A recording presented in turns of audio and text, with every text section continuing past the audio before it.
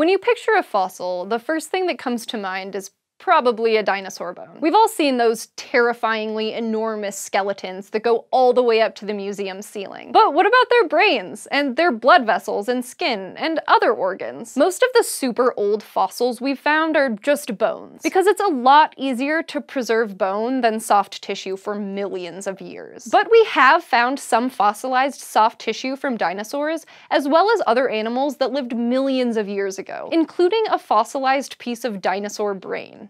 It's just really rare. Before any part of an animal could start being fossilized, it first needed to, you know, die. And then for most types of fossils, it needed to be buried. For the most part, that didn't happen right away. Instead, the bodies would just sit out there in the open, perfect targets for scavengers and microbes to come pick off and decay the soft tissue, so that by the time the animal was buried, only the bones were left. Over time, minerals would seep into where the bones were buried and harden them into the fossils we find today. Paleontologists can sometimes use these fossilized bones to indirectly study soft tissues using what are known as trace fossils things like skin patterns left in the mud. But very, very rarely, they'll find an animal fossil that includes actual fossilized soft tissue, because the animal was buried quickly enough for its soft tissue to fossilize before it decayed. Some of the most important examples of this are fossils from the Cambrian explosion, a period of time about 550 million years ago that saw one of the most drastic increases in the number of species on Earth. But a lot of those species were soft-bodied, meaning that they had no bones bones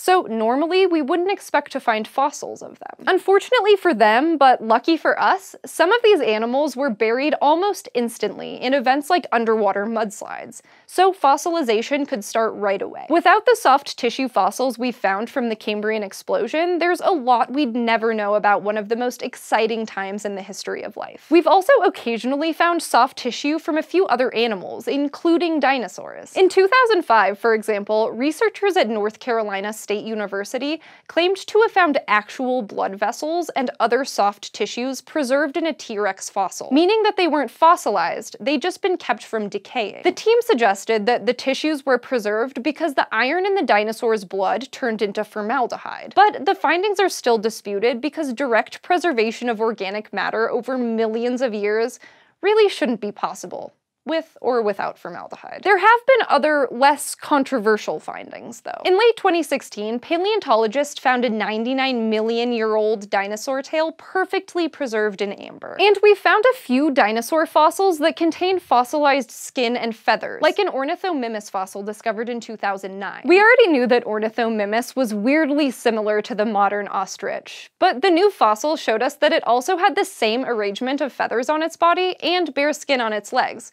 probably to help regulate its body temperature. And yes, we've found fossilized dinosaur brain. In 2016, researchers announced that they'd found a pebble-sized fossil that contained brain tissue. They don't know exactly which dinosaur it came from, but it's about 133 million years old. That's the only dinosaur brain tissue we've ever found, but there are plenty more fossils waiting to be discovered. So who knows what we'll learn about the softer parts of dinosaurs someday. Thanks for watching this episode of SciShow. If you're interested in learning more about dinosaurs and the history of life on Earth in general, you can check out our new sister show, Eons, over at youtube.com slash eons.